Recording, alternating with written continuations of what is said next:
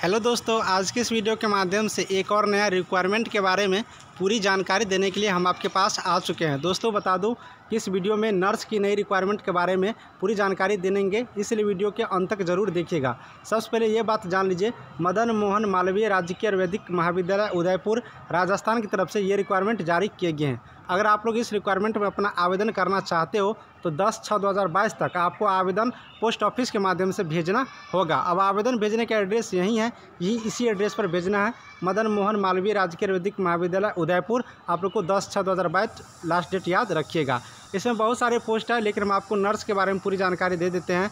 यहाँ पर तीन चार पोस्ट देख सकते हो।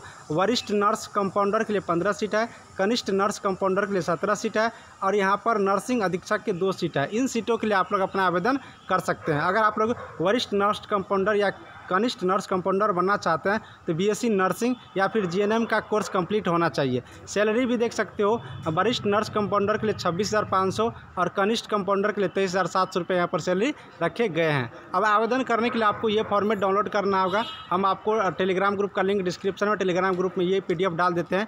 इस फॉर्मेट का आपको अप्लीकेशन फॉर्म का डाउनलोड करके, इसमें जो जो भी जानकारी मांगी गई है, पूरी जानकारी आप लोग को अच्छी तरह से भर लेना है। भरने के बाद आपको जो एड्रेस दिखाए, उस एड्रेस पर आप लोग को दस छः दो से पहले आप लोग को सेंड कर देना है। तो बिल्कुल रूप से जो कैंडिडेट अप्लाई करेंगे, अपना आवेदन यहाँ से कर देंगे। सिलेक्शन प्रोसेस जानोगे तो सिलेक्शन प्रोसेस आप लोग को मेरिट बेसिस पर होगा। यानी कि आपने जो कोर्स डिटेल्स वहाँ पर डालेंगे, जैसे कि जीएनएम का हो गया या फिर बीएससी नर्सिंग का हो गया या फिर ट्वेल्थ का मार्क है, इन सारे मार्कों को जोड़ करके आपको एक मेरिट लिस्ट बनाए जाएँगे। इस मेरिट लिस्ट का जो नोटिस है, तेरह छः दो को आपको ऑफिशियल वेबसाइट पर मिल जाएगा। ऑफिशियल वेबसाइट का लिंक ये रहा, इस वेबसाइट पर आप लोग जा करके ज़रूर देख लीजिएगा। इसके अलावा फ्रेंड्स आपको ईमेल भी या मैसेज भी जाएँगे तो सारा चीज़ अपना मोबाइल का चालू रखिएगा, जिससे कि आपको जानकारी मिलते रहेंगे। दोस्तों, बता दूँ कि नर्स से रिलेटेड कोई भी नया रिक्वायरमेंट के बारे में पूरी जानकारी के लिए चैनल को सब्सक्राइब करें, जिससे कि हम कोई भी नया वीडियो डालूँ तो सबसे पहले आपके पास तक पहुँच सके। Thank you